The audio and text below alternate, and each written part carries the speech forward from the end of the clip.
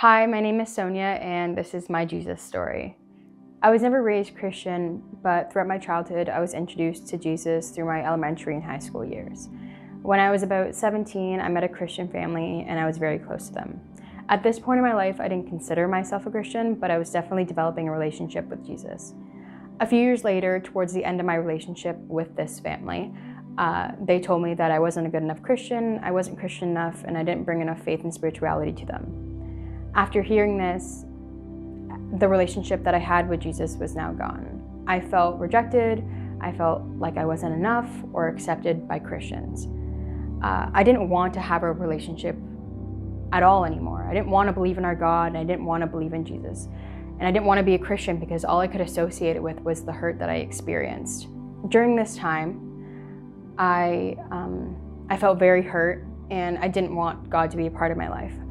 But at the same time, for some reason, I was reading my Bible and I was also watching sermons from different churches every single day. I didn't know why I felt like I needed to do this, but I think at the same time, I also felt like it was the only real and safe thing that I knew that would help heal my heart.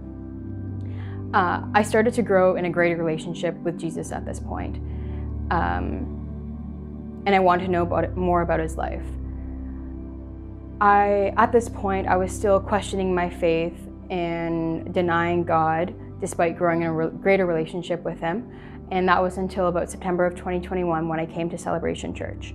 I think that uh, Jesus and God purposely led me here for specific reasons, and they have guided me here.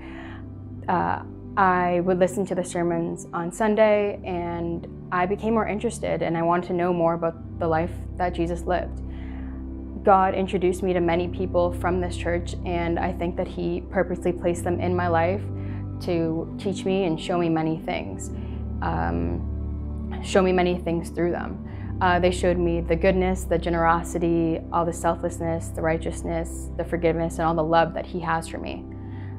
I wanted to know more about God once, after once completely denying Him into my life.